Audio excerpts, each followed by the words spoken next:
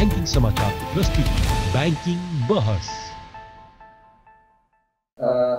दर्शकबिन नमस्ते ब्याङ्किङ समाचारको प्रस्तुति ब्याङ्किङ बहस विशेष कार्यक्रममा स्वागत गर्दछु मनोज रेग्मी दर्शकबिन हामी ब्याङ्किङ बहसमा विभिन्न विषयहरूमा कुरा गर्दै आइरहेका छौँ स्पेसल्ली हामीले धेरै एपिसोडहरूमा डिजिटल ब्याङ्किङको विषयमा कुराकानी गर्दै आइरहेका छौँ आज पनि हामी यसै विषयलाई जोड्दै आज हामी डिजिटल भुक्तानीको लागि प्रयोग हुने विभिन्न कार्डहरूका बारेमा कुराकानी गर्नेछौँ बजारमा कस्ता कस्ता कार्डहरू छन् त? ATM card credit card Visa card international dollar card यी हामीले विविध विविध कार्डहरूको बारेमा सुनिरहेका छौँ। यी कार्डहरूले कसरी चाहिने काम गरिरहेका छन्? अथवा एटिएम कार्ड प्रयोग गर्दा चाहिने कुराहरू के के हो? एटिएम कार्ड र अरू थुप्रै कार्डहरूमा के के भिन्नता छ भन्ने विषयमा आज हामी विविध बहस गर्नेछौँ। बजारमा यस्ता यस्ता कार्डहरू पनि छन्। र यी कार्डहरूको विषयमा कुरा गर्नको लागि हामीले कार्डसँग सम्बन्धित धेरै लामो समयसँग ब्याङ्कमा काम गर्नुभएका एकजना फाइनेन्सियल प्रोफेसनसँग कुराकानी गर्नेछौँ। आज हामीसँग हुनुहुन्छ कुमारी ब्याङ्कमा कार एन्ड डिजिटल पेमेन्ट प्रमुखको रूपमा कार्यरत मनदीप भट्टराई सर आउनुहोस् उहाँलाई कार्यक्रममा स्वागत सर। हजुर नमस्कार हजुर। सर बजारमा विभिन्न कार्डहरू छन्। हजुर। यो कार्डहरू का बारेमा आज हामी तपाईँसँग कुराकानी गर्नेछौँ। हजुर। स्पेसली डिजिटल ब्याङ्किङमा यो कार्डहरूको पनि प्रयोग गरिन्छ। खासमा यो ठ्याक्कै भन्दाखेरि डिजिटल ब्याङ्किङ भनेरै ठ्याक्कै केलाई बुझ्ने छ हामीले? यो कार्ड मात्रलाई बुझ्ने हो र? होइन हजुर। अहिले हजुरले भन्नुभयो जस्तै अब डिजिटल ब्याङ्किङ भने चाहिँ कस्तो भयो भनेदेखि जुन हामीले ब्याङ्किङ गर्छौँ त्यो चाहिँ डिजिटल प्लेटफर्मको थ्रु जुनसुकै कारोबार गर्छौँ ब्याङ्किङ कारोबार त्यसलाई चाहिँ त्यसलाई बेसिकली हामीले बुझ्दाखेरि चाहिँ डिजिटल ब्याङ्किङ भनेर बुझ्न सकिन्छ। त्यसमा कस्तो भनेदेखि आजको दिनमा जुन पहिलाको दिनमा चाहिँ हामी कुनै ब्याङ्किङ सर्भिस लिनलाई ब्याङ्कसम्मै आउनु पर्थ्यो। भने आजको दिनमा हामीले घर बसी बसी अब ट्वेन्टी फोर सेभेन भन्छौँ बिहान बेलुका दिउँसो जुनसुकै टाइममा पनि हामीले ब्याङ्किङ सेवाहरू लिन सक्छौँ घरै बसी बसी भनेको मतलब कस्तो? आजको दिनमा मलाई मेरो एफडी खोल्नु पऱ्यो मेरो स्टेटमेन्ट हेर्न पऱ्यो राति जुनसुकै घरमा बेलुका घरमा गएर अफिसको काम सकेर मेरो खातामा के भएछ विवरणहरू सबै थोक चाहिँ मैले घर बसी बसी जुनसुकै टाइममा आफूलाई पाएको परेको समयमा चाहिँ हेर्न सकिन्छ। जस्तै भनौँ आजको दिनमा हाम्रो एफडी छ मेरो अब मलाई ब्याङ्कमा एफडी खोल्नु पऱ्यो भने आफ्नै मोबाइल ब्याङ्किङको थ्रु एफडी खोल्न सक्यो। अब पहिला यो सुरु भएको चाहिँ मेरो विचारमा यो अनलाइन ब्याङ्किङ जुन इन्टरनेट ब्याङ्किङको थ्रु हामीले स्टेटमेन्ट हेर्ने हामीले फन्ड ट्रान्सफर गर्ने त्यहाँबाट चाहिँ सुरु भएको थियो। त्यो ग्रेजुअली अहिले चाहिँ अब बिस्तारै जब यो हाम्रो स्मार्टफोनहरू आयो त्यसपछि चाहिँ त्यसले चाहिँ इन्टरनेट ब्याङ्किङ भन्दा पनि इन्टरनेट ब्याङ्किङ चाहिँ मोबाइलको थ्रु मोबाइलको प्लेटफर्मको थ्रु चाहिँ हामीले चाहिँ अहिले कस्टमरहरूले चाहिँ लिइरहनु भएको छ भनेपछि अब मोबाइल भएपछि के भयो? सजिलो पनि भयो। जुन चाहिँ इन्टरनेट ब्याङ्किङ हामीले ल्यापटप आफ्नो ल्यापटप ट्याब्लेट खोलेर लगइन गरेर वेब पेज खोलेर जानु पर्थ्यो भनेपछि आजको मोबाइल त हामीसँग सधैँ जुनसुकै टाइममा पनि हुन्छ। भनेपछि त्यो मोबाइलको लिएर हामीले त्यहाँ चाहिँ त्यहाँबाट चाहिँ ब्याङ्किङ सुविधा आफूलाई चाहे ब्याङ्किङ सुविधाहरू चाहिँ हामीले लिन चाहिँ सक्छौँ हजुर। सर नेपालमा थुप्रै कार्डहरू छन्। हजुर।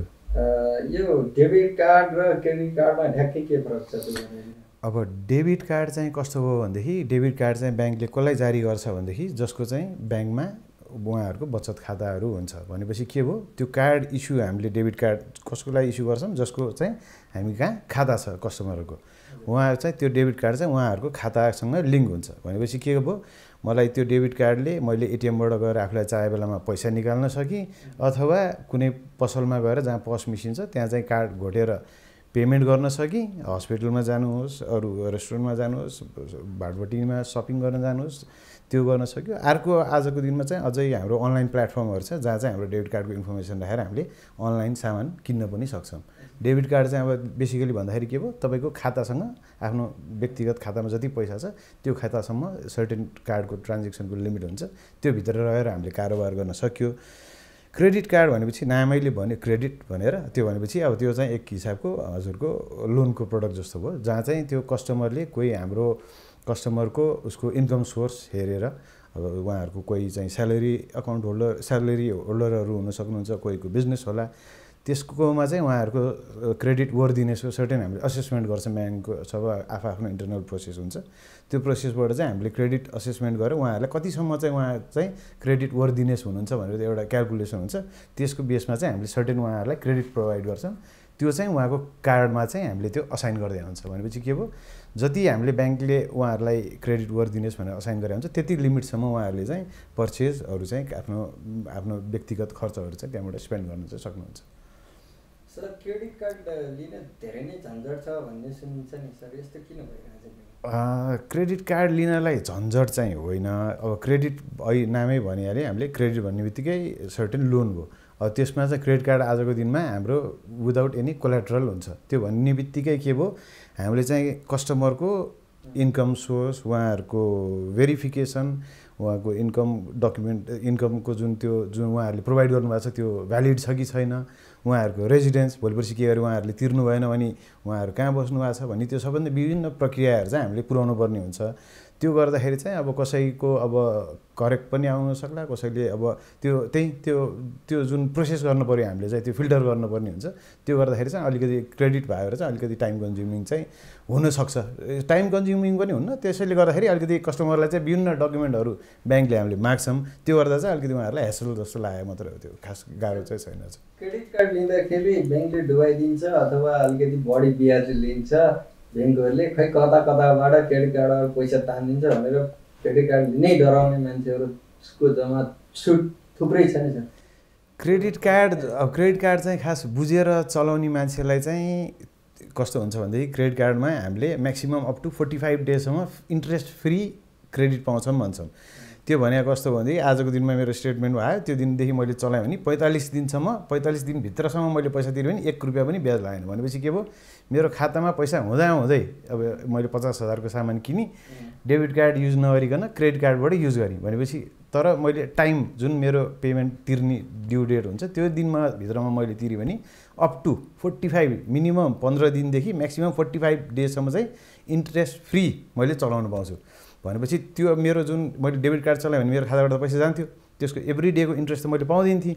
भनेपछि क्रेडिट कार्डले टाइमली चलाउने टाइमली तिर्ने भयो भने चाहिँ के भयो? अझै त्यो चाहिँ बढी सुविधा चाहिँ हाम्रो कस्टमरहरूले चाहिँ पाउनुहुन्छ भन्नाले तपाईँले भन्नु खोजेको क्रेडिट कार्ड चलाउन नजानेर त्यसतिर आकर्षण होइन त्यो जुन अहिले हजुरले भन्नुभयो त्यसमा एकदम धेरै चार्ज इन्ट्रेस्ट के हुन्छ भनेर त्यो भन्ने चाहिँ अब हामीले टाइमली चलाउने अब क्रेडिट कार्ड भन्दैमा अब जुन एकदमै त्यो यत्तिकै आउने त होइन भोलि पर्सि कस्टमरले त तिर्नुपर्छ त्यसलाई अलि आफ्नो सही ढङ्गले तरिकाले चलायो भने चाहिँ त्यसले खास केही पनि एकदम त्यो चाहिँ अब दुःख सुखको साथी भन्छु नि म। अब आफूसँग अहिले तलब आएको छैन खा खल्तीमा पैसा छैन भनेपछि डेबिट कार्ड त चल्ने भएन एटिएमबाट पैसा निकाल्न सक्ने भएन। त्यो त्यो टाइममा चाहिँ कहिले हस्पिटल जानु पर्ला अरे के गर्नु पर्ला अरे सबै हस्पिटलहरूमा क्रेडिट कार्ड चलिहाल्छ। त्यो भनेपछि त्यो चाहिँ अलिकति हाम्रो चाहिँ दुःख सुखको साथी जस्तो चाहिँ प्रोडक्ट चाहिँ हो त्यो खास क्रेडिट कार्ड। सर अलिकति यो भिजा डेबिट कार्डको विषयमा कुरा गरौँ। ए भिजा डेबिट कार्ड विदेशी ब्याङ्कहरूको एटिएम बुथबाट पनि चल्छ सर? हाम्रो डेबिट कार्ड चाहिँ डेबिट कार्ड भन्दा पनि अब यो चाहिँ हाम्रो हाम्रो सर्टेन हाम्रो गभर्निङ अथोरिटीहरू जुन हाम्रो एनआरबीको रिक्वा एनआरबीको डाइरेक्टिभ अनुसारले चाहिँ हामीले विदेशमा कार्ड चलाउन दिनुपर्ने हुन्छ। आजकल अहिलेको दिनमा ब्याङ्कहरूले एउटा डोमेस्टिक डेबिट कार्ड इस्यु गर्छन् अर्को भने इन्टरनेसनल डेबिट कार्ड अथवा प्रिपेड कार्ड अथवा क्रेडिट कार्डको माध्यमले चाहिँ हामीले कस्टमरलाई त्यो फरेन एक्सचेन्ज फेसिलिटी दिइरहेको हुन्छौँ। तर हाम्रो हामीले दिने त्यसकोमा चाहिँ सर्टेन मापदण्डहरू क्राइटेरियाहरू छन्। त्यो भने चाहिँ कस्तो भनेदेखि हाम्रो एक एक हिसाबले चाहिँ म विदेश भ्रमणमा जान लागि।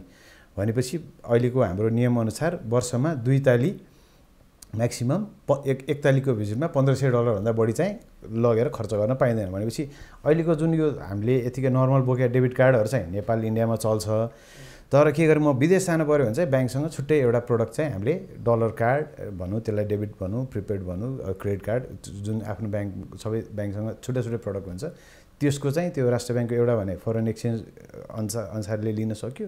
अर्को भने चाहिँ कसैको इन्कम छ डलर इन्कम छ भने त्यसको लागि पनि सर्टेन क्राइटेरियाहरू जुन हाम्रो राष्ट्र ब्याङ्कले गाइड गर्नुभएको छ त्यसलाई त्यसको मापदण्डभित्र रहेर त्यो पनि इस्यु गर्न चाहिँ सकिन्छ। सर अलिकति अब अलिकति बोर्डली सोच्दाखेरि हजुर। अब ब्याङ्कहरूले डिजिटल करे डिजिटल पेमेन्टसँग फोकस हुने अथवा फिनटेक कम्पनीहरूले पनि डिजिटल पेमेन्टलाई नै फोकस गर्ने। हजुर। अनि त्यसपछि नोट रहित कारोबारतिर चाहिँ हामी गइरहेको। हजुर। त्यो दृश्य दृश्य हेर्दाखेरि त्यो दृश्य हेरिरहँदाखेरि अब त हामीलाई एटिएम बुथ नै किन चाहियो र भन्ने जस्तो फिल भइरहेको छ सर। यो। खास ब्याङ्कहरूले यस बारेमा केही सोचेका छन् त?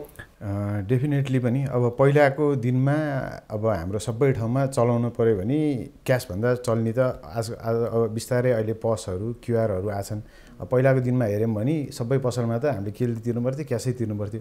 भनेपछि एटिएम किन राख्यो हामीले त्यो टाइममा भनेदेखि कस्टमरलाई त जुनसुकै बेला पनि पैसा चाहिने हुनसक्छ। ब्याङ्क त हाम्रो सर्टेन टाइममा बिहानदेखि बेलुकासम्म खोल्छ। बिदाको दिन होस्। अरू दिन होस् इमर्जेन्सी पर्ला राति हस्पिटल कुद्नु पर्ला पैसा चाहिएला। त्यो भन्ने केसले चाहिँ एटिएम चाहिँ हाम्रो पहिल्यैदेखि नै चलिआएको अब एउटा भनौँ न एउटा क्यास निकाल्ने एउटा माध्यम भर सजिलो भरपर्दो माध्यम थियो। अहिले पनि स्टिल आजको दिनमा पनि हेऱ्यौँ भने सबै थोक ठाउँमा हाम्रो कार्ड चल्ने पस मेसिनहरू नभएको पसलहरू धेरै छन्। त्यस्तै अर्को भनेको अब सबै ठाउँमा अहिले क्युआर पनि अलिअलि हाम्रो धेरै ठाउँमा त भइसक्यो तैपनि स्टिल अझै हामी घर बाहिर निक्ल्यौँ भने धेरै पसलमा चाहिँ जहाँ हाम्रो एभ्री डे हामीले किन्नुपर्ने हुन्छ त्यो पसलहरूमा स्टिल अझै क्युआर चाहिँ नपुगिरहेछ। भने त्यो सबै अब यो भने चाहिँ ग्रेजुअली त्यो सबै ठाउँमा पनि जब उहाँहरूले क्युआर अथवा अरू कुनै डिजिटल मिन्सबाट पेमेन्ट एक्सेप्ट गर्न सक्नुहुन्न त्यो बेलासम्म चाहिँ अब सर्टेन अहिले क्यासबाट लेस क्यासतिर चाहिँ हामी गइरहेछौँ। अब कम्प्लिटली क्यासलेस हुनलाई चाहिँ अलिकति टाइम चाहिँ लाग्छ होला हजुर। सर इन्टरनेसनल डलर कार्ड भनेर नेपाल राष्ट्र ब्याङ्कले जारी गरेको लगभग एक वर्ष भइसकेको छ। हजुर। यो खास इन्टरनेसनल डलर कार्ड चाहिँ किन चाहिन्छ? यो ब्याङ्कमा ब्याङ्कहरूबाट लिन कतिको सजिलो छ? अथवा नेपालमा लिएको इन्टरनेसनल डलर कार्ड का हुन्छ अब यो चाहिँ लास्ट इयर हाम्रो नेपाल राष्ट्र ब्याङ्कबाट चाहिँ अब अहिले पनि त्यो बेलामा के थियो भनेदेखि कुनै सामान मान्छेलाई विदेशबाट बसेर यहाँ नेपालमा बसेर विदेशी अनलाइन किताब किन्न पर्ला अथवा फिजिकल किताबै केही मगाउनु पर्ला आफूलाई केही चाहेको एउटा सानो सामान विदेशबाट ल्याउने भन्ने त्यो चाहिँ अब त्यस्तो सु त्यस्तो आफैले पैसा तिरेर ल्याउने भन्ने चाहिँ जबसम्म हाम्रो डलर कार्ड हुँदैन थियो। तबसम्म चाहिँ त्यो एकदमै मान्छेलाई गाह्रो भइरहेको थियो। यही कुरालाई मध्यनजर गरेर चाहिँ नेपाल राष्ट्र ब्याङ्कबाट पाँच सय डलर बराबरको चाहिँ एउटा कार्ड जारी गर्न सक्ने भन्ने चाहिँ एउटा आयो। त्यसकै बेसिसमा ब्याङ्कहरूले कार्ड जारी गरिरहेछन् अब त्यो कार्डको मेन उद्देश्य भनेर चाहिँ कस्तो भनेदेखि स्वदेशमा बसेर हामी यहीँ बसेर विदेशमा भएको सर्भिस। अहिले जुन मैले भने किताब कसैलाई किन्नु पर्ला कुनै अब एकदम राम्रो केही अब म्यागजिन होला त्यो हेर्नु पर्ला। आफ्नो नलेज इन्हान्स गर्ने इन्टरनेटमा त धेरै कुराहरू छन्। त्यो सबैको उपभोग गर्न चाहिँ अब हाम्रो यो जुन हाम्रो नेपाली डेबिट कार्ड क्रेडिट कार्डले त अनलाइन तिर्न मिल्दैन त्यसको लागि डलर कार्डै चाहिन्छ। त्यसकै त्यही मध्यनजर गरेर चाहिँ नेपाल राष्ट्र ब्याङ्कले कस्टमरहरूको ग्राहकको मागको लागि सम्बोधन गर्नलाई चाहिँ त्यो कार्ड इस्यु गर्नलाई चाहिँ निर्देशन भएको थियो। त्यही अनुसार ब्याङ्कले गरिरहेछन्। त्यसको लिनलाई क्राइटेरिया भने गाह्रो केही पनि छैन।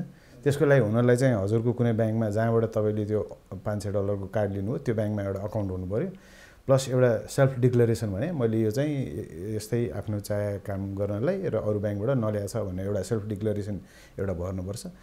र एउटा त्यो लिनलाई चाहिँ एउटा प्यान कार्ड प्यान नम्बर चाहिँ एउटा अनिवार्य हुनुपर्छ। त्यति तिनवटा प्रड्युस गऱ्यो भने त्यो कुनै ब्याङ्कले एकै दिनमा कुनै ब्याङ्कले एक दुई दिन लगाएर चाहिँ त्यो कार्ड तुरुन्तै जारी गर्न चाहिँ सक्छ। पैसा डिपोजिट भनेको कार्ड इस्यु गर्नलाई हजुरलाई परेन। तर त्यो कार्ड चल्नलाई त के त ब्यालेन्स हाल्नु पऱ्यो त्यो ब्यालेन्स त हजुरको त्यही सेभिङ्स अकाउन्टबाट डेबिट गरेर अब त्यसमा पाँच सय अप टु पा पाँच सय हो पाँच सय डलर बराबरको अब मलाई आजको दिनमा सय डलरको मात्रै रिक्वायरमेन्ट छ भने मैले सय डलरको इक्वि ब्यालेन्स चाहिँ खातामा हुनु पऱ्यो त्यो अकाउन्ट डेबिट गरेर हजुरको डलर कार्डमा चाहिँ त्यो पैसा चाहिँ लोड हुन्छ। कार्ड इस्यु गर्दाखेरि त्यसमा सर्टेन सर्भिस फीहरू सर्भिस इस्युएन्स चार्जहरू ब्याङ्कहरूले लिन्छन् प्लस त्यसमा सर्टेन अलिअलि थोरै ट्रान्जेक्सन फिजहरू पनि आउँछ। अर्को भने कस्टमरलाई सर्भिस पनि भयो। अब भएपछि के हो ब्याङ्कले एउटा सर्भिस दिएको छ भने कस्टमरहरू पनि त्यो ब्याङ्कप्रति लोयल हुनुहुन्छ चलाइरहनुहुन्छ भन्ने कुरा। हुन्छ त्यो पनि गर्न सकिन्थ्यो तर त्यसमा सर्टेन चार्जहरू पनि ब्याङ्कलाई पर्ने हुन्छ। अब भनौँ कार्ड इस्यु गर्दाखेरि चार्ज लाग्छ कार्डकै एउटा प्रिन्ट गर्नुपर्छ। आजको दिनमा सबै कार्डहरू चिप बेस्ट कार्डहरू छन् त्यसको कस्टहरू बढिरहेछ होइन त्यो एउटा छ। प्लस ट्रान्जेक्सन फिजहरू पनि ब्याङ्कलाई लाग्छ। कमाउने मात्रै होइन त्यसमा सर्टेन फीहरू ब्याङ्कले तिरि पनि अ, त्यसको लागि प्रोसेसिङ गर्नलाई पनि ब्याङ्कको विभिन्न म्यान पावरहरू कार्ड इस्युएन्सदेखि लिएर त्यो कार्डको ट्रान्जेक्सन उहाँहरूले कस्टमरले गरेको कार्डको ट्रान्जेक्सनको सेटलमेन्ट गर्नेसम्म स्टाफहरूको इन्भल्भमेन्ट चाहिँ हुन्छ। अब त्यो सबैलाई गर्दाखेरि चाहिँ ब्याङ्कले आफ्नो कस्ट चाहिँ रिकभर गर्न चाहिँ खोज्छ। त्यो सर एक वर्षमा जम्मा पाँच सय डलर लिमिट हजुर। त्यो त साह्रै नै थोरै भएन र सर के लाग्छ? अब यस्तो हो अब आजको दिनमा यहाँहरू सबै हामी सबैलाई थाहा छँदैछ यो जुन हाम्रो फरेन एक्सचेन्ज रिजर्भ एकदम कम छ कति कति टाइमलाई मात्रै हाम्रो देशको इम्पोर्ट धान्न सक्ने भन्ने कुराहरू छ होइन। त्यसलाई मध्यनजर गरेर अब बिस्तारै सबै थोक इज हुँदै गयो भने हाम्रो नेपाल राष्ट्र ब्याङ्कले उहाँहरूले पनि त यो क्लोजली मोनिटर गरिरहनु भएको छ। अब त्यसपछि उहाँहरूकै निर्देशन उहाँहरूकै एनालाइसिस गरेर अब यसलाई बढाउने घटाउने चाहिँ उहाँहरूबाटै निर्देशित चाहिँ हुन्छ। ठिक छ अब तपाईँहरूले कुमारी स्काई क्लब कार्ड भनेर जारी गर्नुभएको छ। हजुर। खास यो कुमारी स्काई क्लब कार्ड भनेको थियो यसको बारेमा बताइदिनु। हजुर यो कुमारी स्काई क्लब कार्ड भनेको चाहिँ एउटा हाम्रो हामीले यति एयरलाइन्ससँग टाइप गरेर एउटा कार्ड इस्यु गरेको छौँ। यो यसलाई भिजाको को ब्रान्ड कार्ड भन्छ। यो कार्डमा चाहिँ हामीले हाम्रो कस्टमरहरूलाई चाहिँ के फेसिलिटी दिएका छौँ भनेदेखि उहाँहरूले त्यो कार्ड लिएर जुनसुकै आउटलेटमा भनौँ नेपालभरिको जुनसुकै पस मेसिनमा घोट्नुभयो भने एक सय रुपियाँको कारोबार गरेको मध्ये एक प्रत्येक एक सय कारोबारमा चाहिँ हामीले एक रुपियाँ चाहिँ उहाँहरूलाई रिवार्ड पोइन्ट भनेर दिन्छौँ। त्यो रिवार्ड पोइन्ट कलेक्ट हुँदै जान्छ।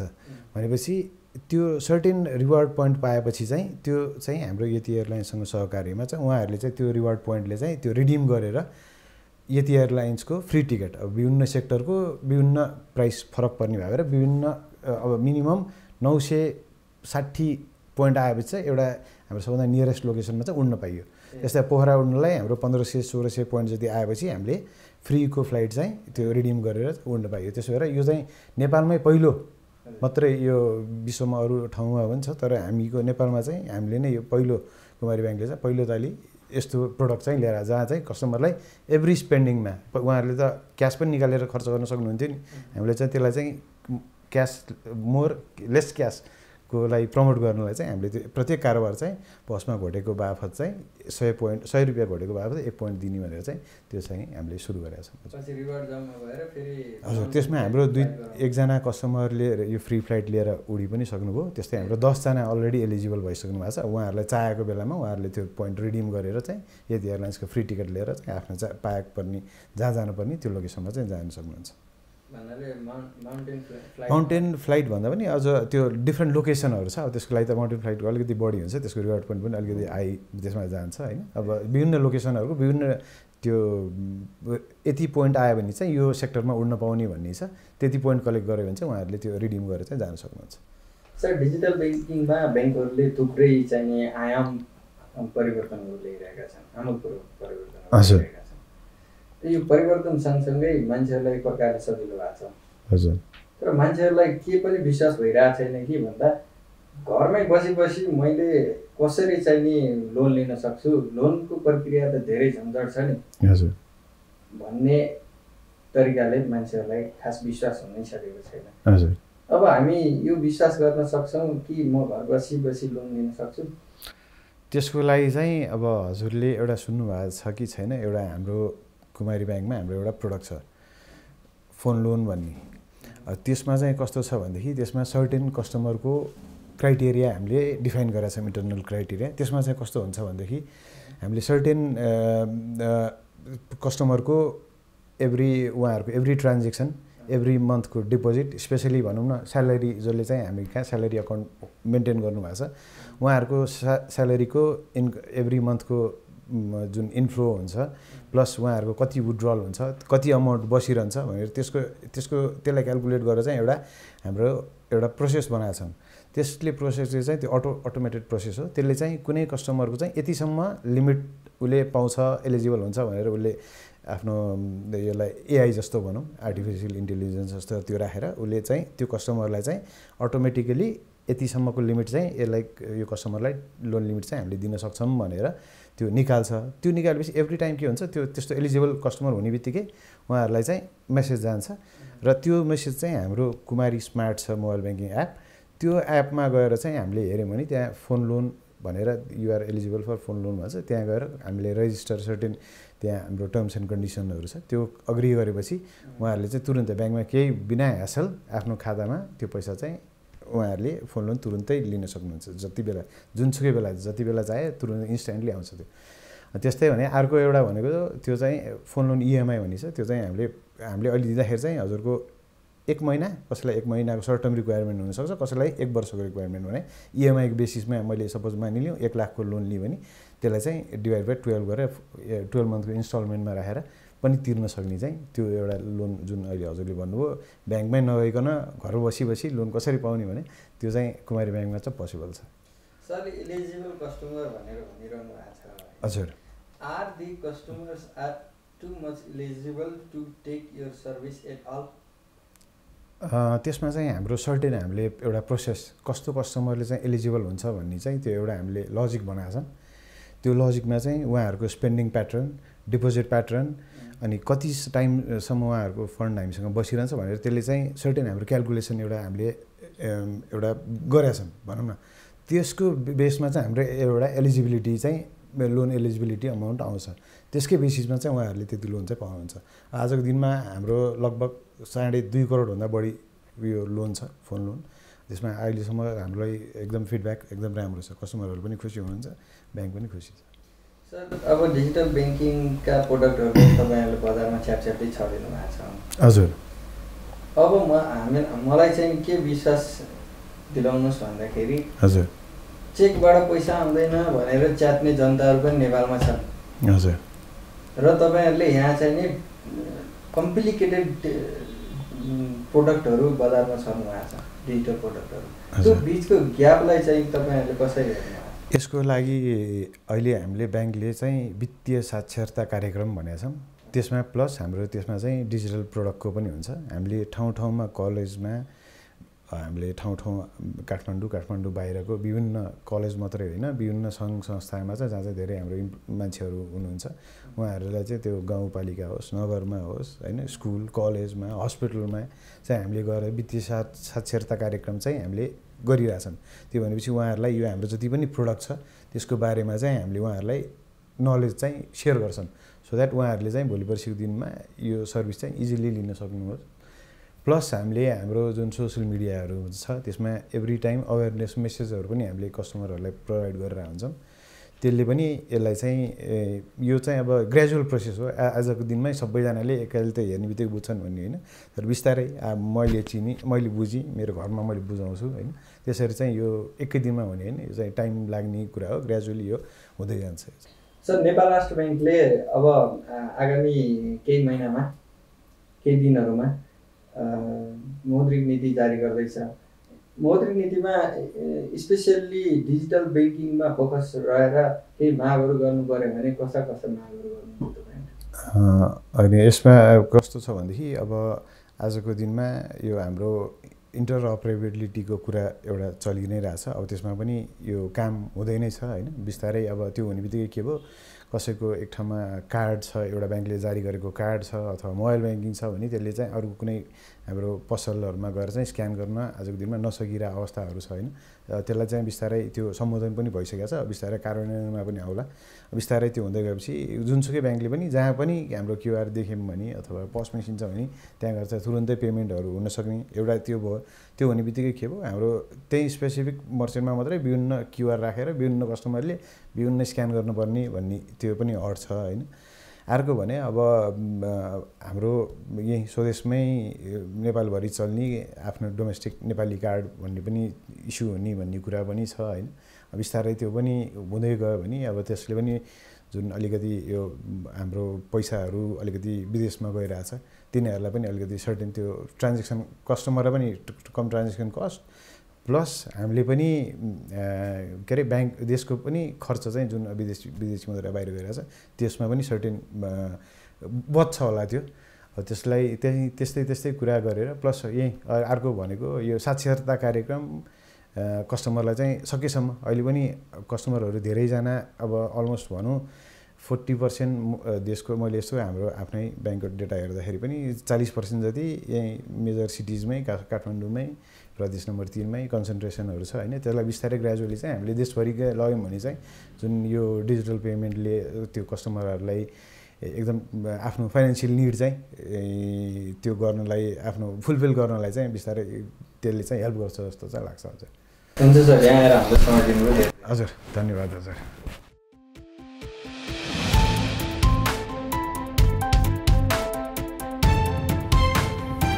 ब्याङ्किङ समाचारको प्रस्तुति ब्याङ्किङ बहस